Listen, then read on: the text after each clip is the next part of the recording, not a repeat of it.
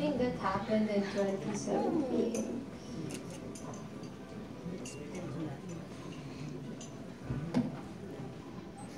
Alam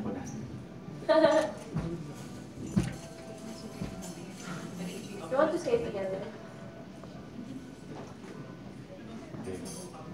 Oh no! I would know it Ano, ako para sa akin, pinaka-the best na nangyari sa akin ngayong taon na to is yung makatrabaho si Julia sa solo pelikula You to the Stars and Back. At ah,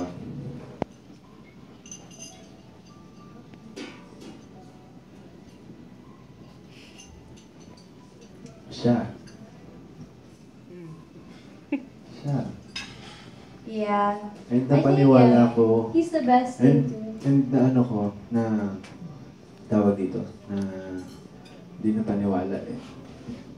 Na napatunayan ko na siya talaga yung nagbibigay sa akin ng lucky charm.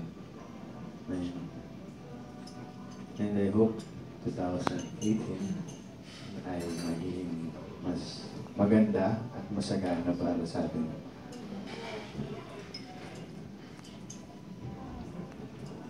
Yeah, I have to say that... What she said. Yeah, I'm proud to say that he's the best thing that happened to me this year. Period. Exclamation point, exclamation point, exclamation. Him.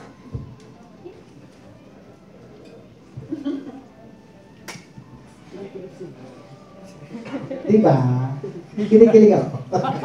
Di ba kayo? Wala ito. Sige, Aura, meron ka pa kwento? Oo, meron pa din. For Julia, um, the character dun sa Yes, yes.